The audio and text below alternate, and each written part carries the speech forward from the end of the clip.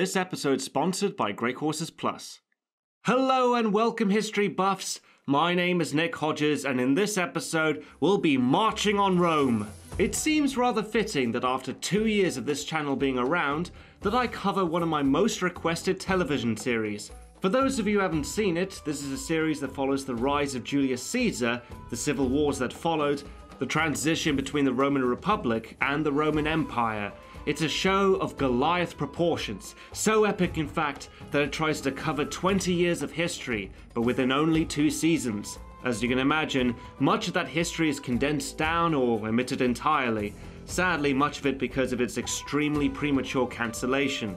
But despite all this, it still has a hardcore fan base, one that I'm proud to be a part of. So, I would like to present a True History Buffs video for True History Buffs. This is Rome.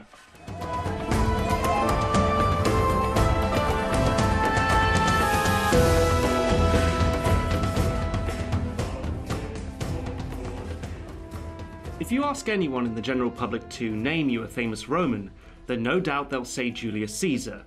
But unless they're a history buff, that is likely where their knowledge will end. The sheer scope of his life was vast, and it's difficult to get an impression of the man himself without doing extensive research.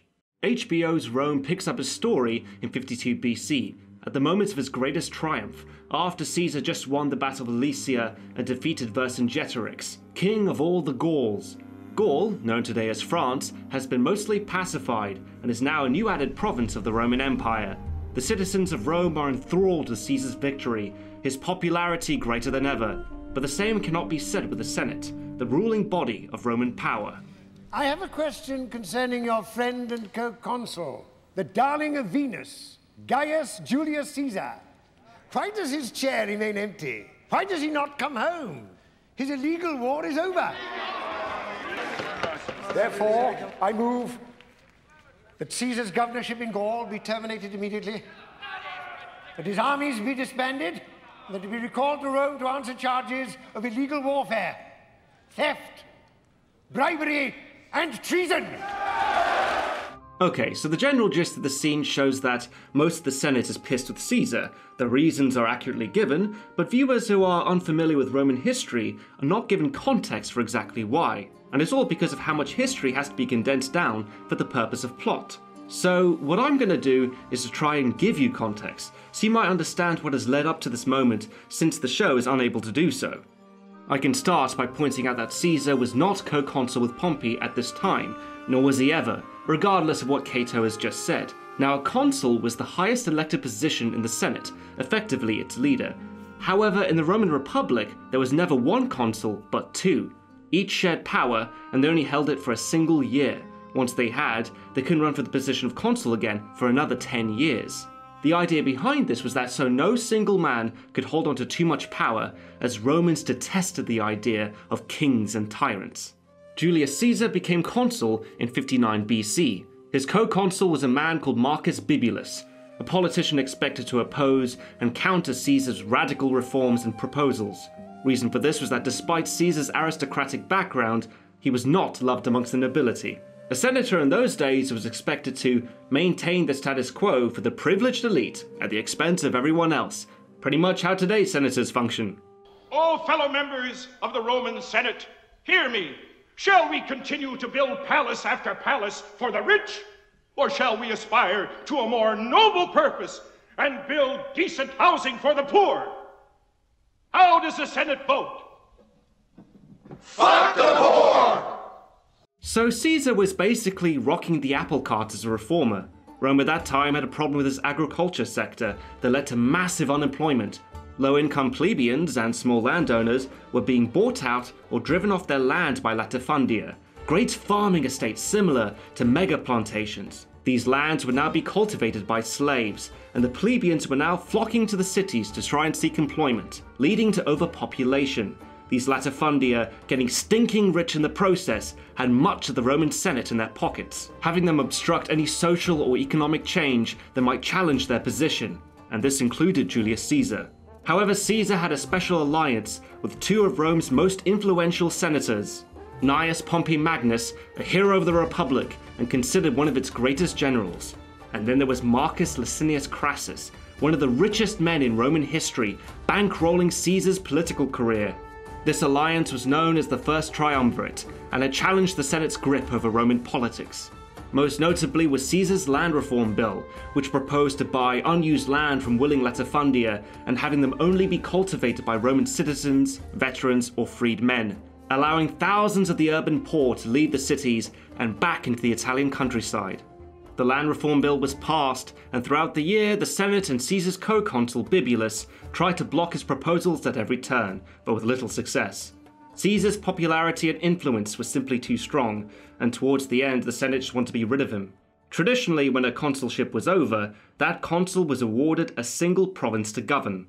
Getting two provinces was a rarity, but Caesar managed to get himself three Illyricum, Cisalpine Gaul, and Transalpine Gaul he was also given four legions to protect them. Out of his own pocket, Caesar raised two additional legions, giving him command of around 30,000 men.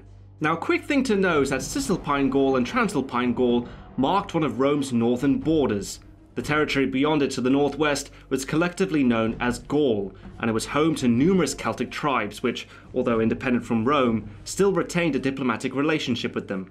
Early into Caesar's first year as governor in 58 BC, an Alpine Gallic tribe known as the Helvetii were migrating to resettle in western Gaul. Up to 300,000 of them were heading for Caesar's province. This would mark the beginning of the Gallic Wars. Now, in the interest of time, I'm going to have to condense down a lot of stuff, but hopefully you'll get an idea of why many in the Senate hated Caesar, and it had a lot to do with what he did in Gaul. So, right from the beginning, Caesar opposed the Helvetii's migration and defeated them in battle. Shortly afterwards, many Gallic tribes reached out to Caesar, congratulating him for his victory. But they then requested his military support against a foreign German king called Ariovistus, whose tribe, the Suebi, had settled in Gaul. The tricky thing is that Ariovistus had achieved official recognition by the Senate and was considered a friend of Rome.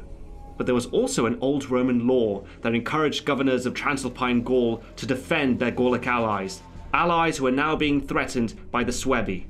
These two official mandates conflicted with one another, and whatever course Caesar took, he'd be pissing someone off. In the end, Caesar took his legions, marched against Ariovistus, and crushed the Suebi in battle, and emerged victorious once again. Within just his first year as governor, Caesar had won two military campaigns, and one of them had been against an official friend of Rome. Not long afterwards, Caesar raised two more legions without the Senate's approval, doubling his forces to eight.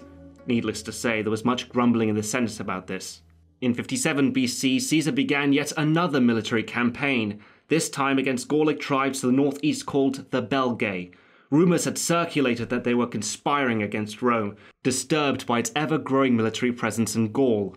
Caesar launched a preemptive strike against the Belgae, laying waste to their lands as he advanced. Much of that year was spent fighting skirmishes until a decisive battle was fought at the Sambre River. The Belgic tribes came close to overwhelming the Romans, but thanks to their military discipline, the legions recovered and massacred the Belgae. With this victory, Caesar grew in confidence and asserted Roman authority in Gaul more than ever. His reasons for seeking out war became less and less justified as he kept securing victory after victory, the booty and slaves he procured during his campaigns made him rich and popular with the Roman people. Another tribe that came into Caesar's crosshairs was the Veneti who lived in the Brittany Peninsula. A Roman garrison nearby had been demanding supplies of grain from the local tribes, much to their resentment. When the Veneti captured some of Caesar's officers, he took this provocation as an act of war. As the Veneti were a seafaring people, he commissioned a fleet to challenge them. Despite having superior ships, the Gallic fleet was subdued by the Romans, and Caesar had all the Veneti nobles put to death. The rest of the population was enslaved as a warning to other Gauls in the region. It didn't help much, as local uprisings occurred, but these were also put down. Now, no doubt you're beginning to see a pattern emerge. Caesar is no longer fighting to protect Rome's borders. He's cutting a bloody path through Gaul and warring on its people with little justification. To the Roman people, Caesar is a hero, but to many in the Senate, he was viewed as a rogue general. This war of Caesar's is a crime. He's waging war on behalf of Rome. We commissioned him to fight the Gauls. Not all of them! He started fighting the insurgents at the borders and moved on to murder peaceful Roman allies, Gauls, who paid taxes and tribute to Rome. I fear the gods, gentlemen. Caesar is not Sulla. He's not fighting the Romans. He's fighting the Gauls. He's not threatening us. We are threatening him. Once Caesar was consul, how many times did he push through a law without having it ratified? He has no respect for us. Something had better be done. In 55 BC, Caesar made the most audacious move in his career yet by leading an expedition to invade the island of Britain. He claimed that the Veneti and Belgae had received support from the Britons for their campaign against Caesar. With the same fleet he'd used to crush the Veneti, he set sail. Now, this new campaign of Caesar's truly captured the Roman public's imagination. They knew little to nothing of Britain. It was a mysterious place on the edge of the known world, wrapped in myth and legend. Many Romans didn't even believe it existed. So to hear of Caesar's exploits in Britain and its strange natives was something truly extraordinary. It was like landing on another planet. But apart from cementing Caesar's celebrity status, nothing much was accomplished. His first expedition failed, as well as a second in 54 BC. No further attempt to conquer Britain would be made until nearly a century later. While Caesar was away in Britain, things went from bad to worse. In September 54 BC, Caesar received a letter stating that his daughter Julia had died in childbirth. Aside from the personal loss, this also threatened the first triumvirate, since Caesar's daughter was the wife of Pompey Magnus. Then, a few months later, a major uprising had begun in Gaul. Discontent amongst the subjugated tribes was reaching a breaking point, and shortly after, in 53 BC, Marcus Licinius Crassus died fighting the Parthians effectively ending the first triumvirate. Let me put it like this his financial backer was dead, his only child was dead, and as a result, so was his alliance to the one man who could protect him from his enemies in the Senate, enemies who would later seduce Pompey to join their side. And then, in 52 BC, all the tribes had united under a single king called Vercingetorix, a charismatic and capable leader who was familiar with how the Romans fought. He knew that they couldn't be defeated in open battle, so he devised another way through scorched earth. Vercingetorix avoided Caesar's legions as best he could, and at the same time, he burned all the farms and crops, denying Caesar any opportunity to feed his men. And with their supplies dwindling, it was beginning to work. Caesar then had to make a decision to either abandon Gaul and everything he fought for and return to Roman shame, taking his chances with the Senate, or to double down and pacify Gaul, which was the choice he went with. At first, the Gauls' tactics seemed to be working, but eventually, Caesar cornered Vercingetorix and 60,000 of his men in the hilltop fortress of Alesia. Despite being low on food themselves, the Romans decided to starve them out. They did this by building a massive wall around the town, up to 11 miles long. Throughout construction, the Gauls launched constant raids against the Romans. Eventually, Gaulic cavalry was able to punch through the defenses and escaped. Caesar knew that they would be back with reinforcements. So he began works on a second wall. This one would be 14 miles long. The first wall kept Vercingetorix and his men in, and the second would keep the Gaulic reinforcements out. As the weeks rolled by, food started running out for the Gauls. In an effort to keep his army fed, Vercingetorix expelled all the women and children from Alesia, hoping they would be allowed to pass through the Roman lines. It didn't work.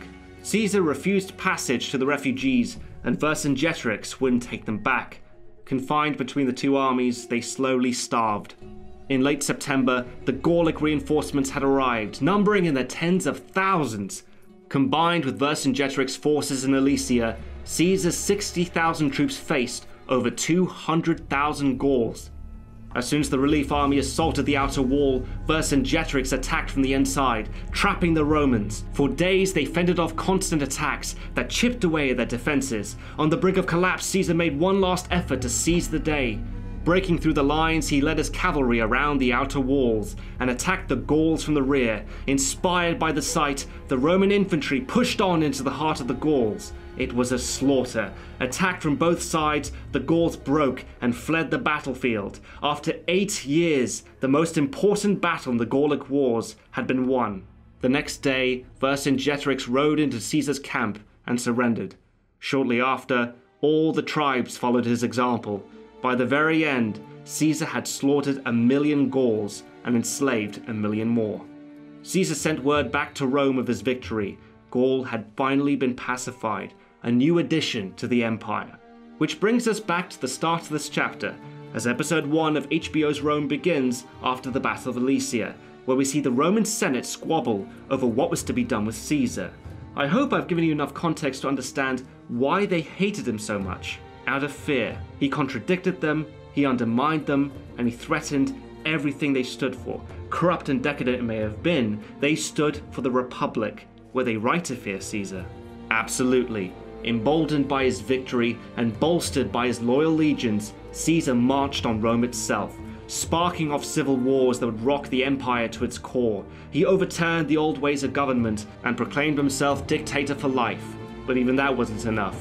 Caesar even went as far as to assert himself as a divine ruler. At his triumph, he painted his face red like the god Jupiter. The foundations of a new cult to worship him was laid.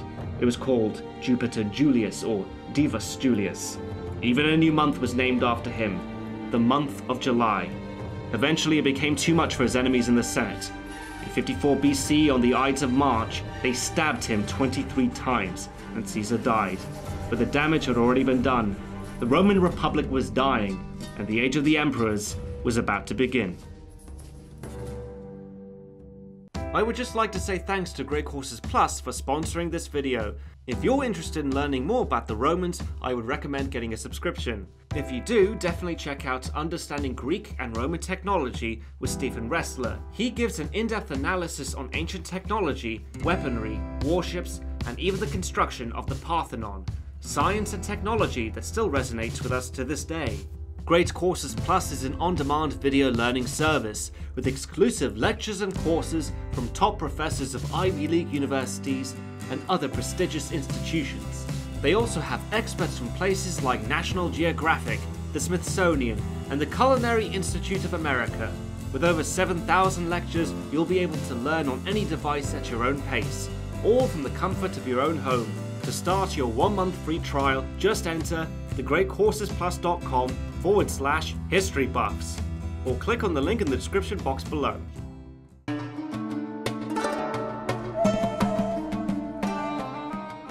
So now that I've given you some historical context, I'm going to go over some of my likes and dislikes with Rome.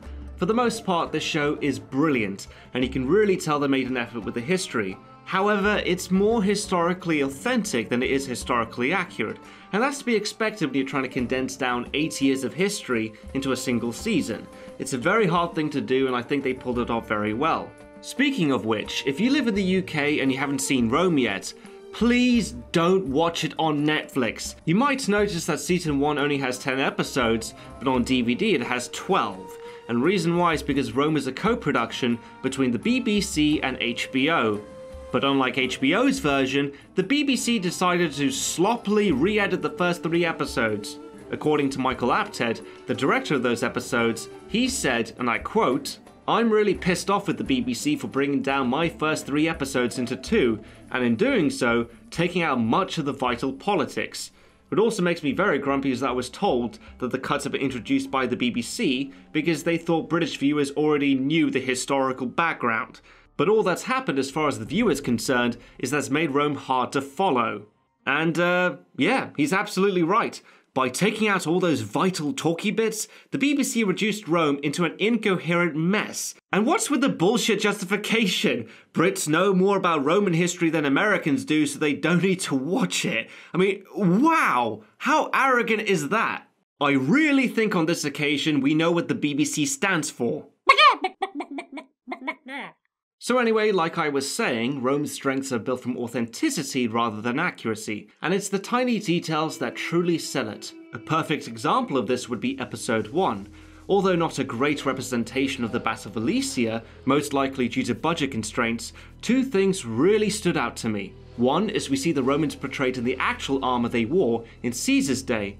Far too often in movies and TV shows, we see Romans always wear Lorica segmentata armour, Unlike in the 2001 movie Vercingetorix, they wouldn't be wearing it until 100 years later. In HBO's Rome, they're wearing Lorica Hamata armor, which is 100% correct. Secondly, we see how the Romans actually fought and understand why they were so effective on the battlefield.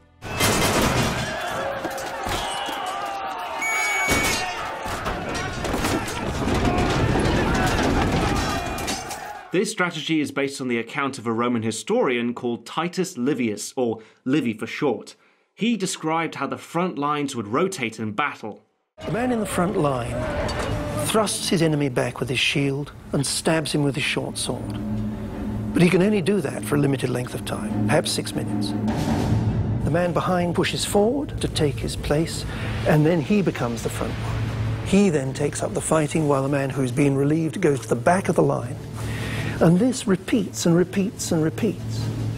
If you have eight ranks deep, you fight every 40 minutes. Wow, that makes perfect sense and it's really cool to watch. So, why do so many movies have Romans break formation and fight in free for alls? I mean, like, even Gladiator is guilty of this cliche. Thankfully, Rome shows us why it's not a good idea to do that.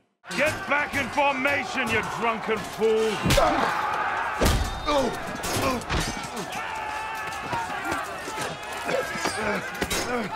Reform! Another thing Rome pulls off is the look of Rome. Uh, no, I'm not talking about the look of the show, I mean the city itself. When the average person thinks of Rome, they imagine glorious white marble buildings and statues, because that's what these relics and ruins look like today.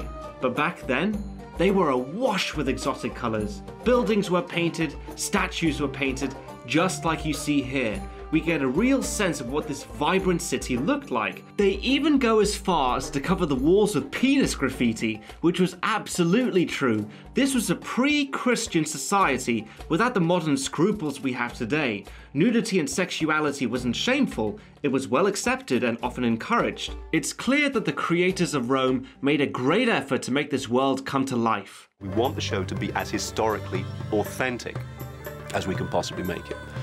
And the distinction there for me is that while the characters are dramatized characters, the world in which they're moving, the context in which they exist, was something that we could flesh out with historical detail. Speaking of characters, let's discuss everyone's favourites. We have Lucius Vorenus, the stoic career soldier with strict values of Roman conduct.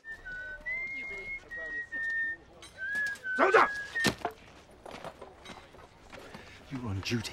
And my personal favourite, Titus Pullo, the insubordinate soldier with a heart of gold.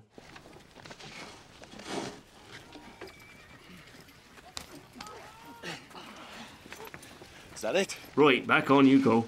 One thing I was surprised to find out about these two is that they're not 100% fictional. In Julius Caesar's memoirs, The Commentaries of the Gallic Wars, he briefly mentions two soldiers called Lucius Vorenus and Titus Pullo, Unlike the show, they were both centurions, and they hailed from the 11th Legion and not the 13th, but we don't know much about them. They were the only common soldiers named by Caesar personally, and apparently they had a rivalry with each other over who was the bravest. Their fictional counterparts might have been used to introduce the audience to the world of the plebeians, so we could see how the other side lives, which is absolutely fine with me, and besides, they're wonderfully written characters. So these are just quick examples of what I really love about Rome. I could go on all day, but I thought it'd be fair to include some minor criticisms I have with the show as well. One thing I think every fan can agree with is the severe lack of battle sequences. The only one we really get is the Battle of Alesia, and it's over in a heartbeat. Apart from that, every major battle in Caesar's civil war is glossed over, and understandably it's because it would have been really expensive. But it's still infuriating, I mean just take a look at the Battle of Pharsalus because you're really invested with what's going on. They've been building up to this climactic showdown between Julius Caesar and Pompey for a while now, and you're pumped. You can't wait to see him kick his ass. But then it cuts to some blurry handheld shots of a few soldiers fighting, and before you even realize it, it cuts back to Caesar approaching his bed, sitting down, and then he says, Send to Rome.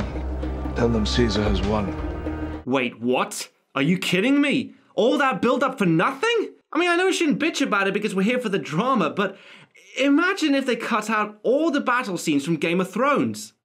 The dark arts have provided Lord Stannis with his armies and paved his path to our door. And tonight, I believe you are the only man who can stop him.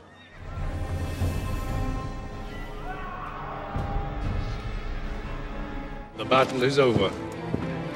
We have won. Yeah, you'd be pissed too. That's not even mentioning all the other battles they cut in Season 1. I'm not going to go over them all, but here's a quick list.